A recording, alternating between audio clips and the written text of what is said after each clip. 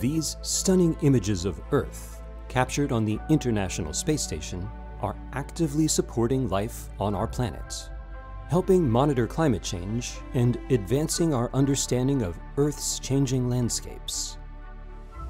As part of a discipline called Earth Observation Science, space station imaging and data, along with satellites, are used to collect information about our planet that isn't available from the ground.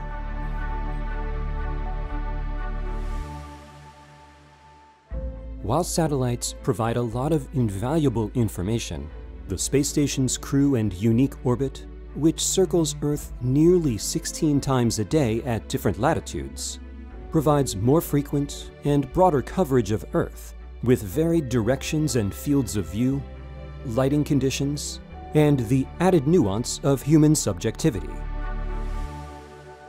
Known as astronaut photography, these images are part of Crew Earth Observations, or CEO, a multi-decade activity that translates into real-world benefits.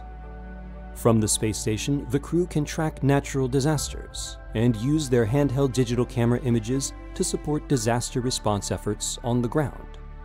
Astronaut photography is also used to monitor glaciers and volcanoes, improve urban planning, observe urban lighting and atmospheric processes, and track bird migration corridors.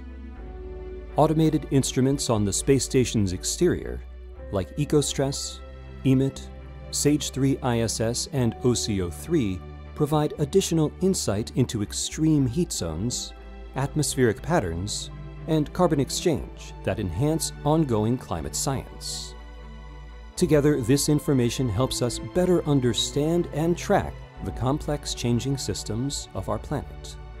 And for astronauts, capturing images of Earth has been shown to improve their mental health, reinforcing the awe-inspiring experience of seeing our planet from above.